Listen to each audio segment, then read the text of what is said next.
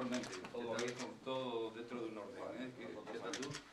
Comentario aquí generalizado. No, no, no, no, es que yo venía, claro, temeroso de lo peor, ¿no? Esto será- se puede hacer, hay que hacerlo y tiene que ser el gran objetivo nacional. Y eso supondría llegar a los 20 millones de españoles trabajando, que ya los hubo durante muy poquito tiempo, pero ya los hubo.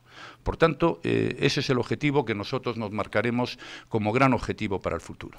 Sí, hemos pasado una crisis gravísima, pero también hay que ver que una situación de crisis como esta, España eh, y los españoles, este país, lograron mantener los pilares básicos del estado de bienestar. Y eso nos debe animar de cara al futuro.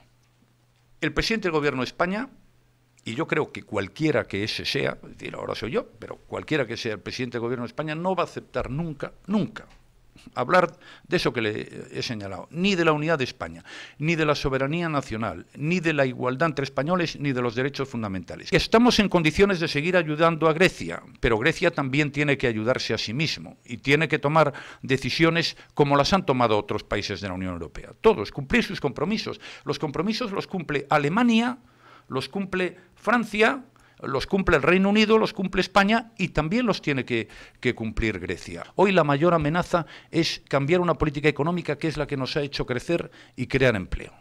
Así lo veo yo. Es decir, yo creo que hay que seguir manteniéndola porque, como le decía al principio, se puede llegar a 20 millones de puestos de trabajo a razón de 500.000 al año si somos capaces de hacer las cosas bien. En el 13, la última parte, ya empezamos a ver la luz. El año 14 ya ha sido mejor y ahora pues ya hay algunos datos que, que indican que esto puede ir a mejor, aunque hay que seguir peleando, eh, no hay que confiarse nunca, no hay que parar, pero yo lo veo con, con bastantes más puestos de trabajo y eso, como le he dicho en esta entrevista, es lo que más necesita España en este momento.